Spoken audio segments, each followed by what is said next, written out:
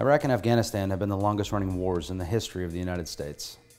During more than 13 years of war, nearly 7,000 U.S. servicemen and women and nearly 1,500 Iraqi and Afghan interpreters were killed, and that's only part of the body count. Aside from the human toll, war has cost the United States nearly $6 trillion since 9 11.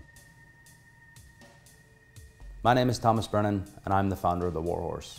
I served as a Marine in Iraq and Afghanistan, and was medically retired after I was wounded in 2010. I began writing to understand my own experiences with war. Writing led me to my career in journalism. I've won national awards, graduated from Columbia University, and my work has been featured on the front page of the New York Times. That led me to start The War Horse, a digital magazine of investigative journalism and long form features, a community and an open source data repository that will explore war and trauma since 9 11. Legacy and modern media outlets have all uncovered wrongdoing in military and veteran affairs, but it's not their sole focus and the effects of war are often too represented only by a number. That's where we come in. Our journalism will merge seamlessly with crowdsourced contributions and serve as a middle ground for veterans and civilians, pro-war and anti-war alike, creating an in-depth documentation that has never existed before.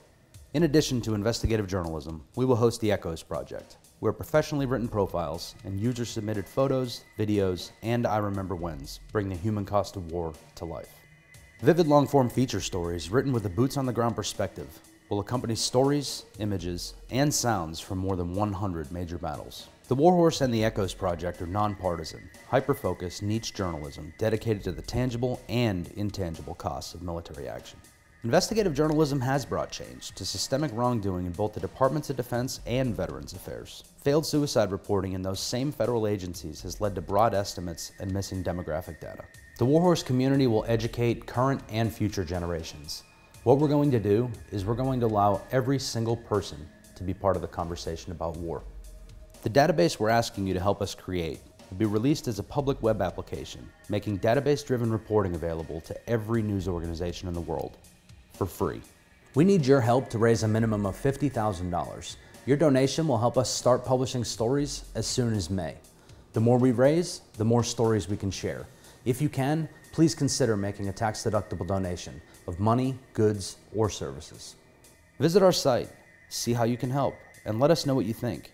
Your opinion matters, and we can't do this alone. Everyone has their own war story. How will you share yours?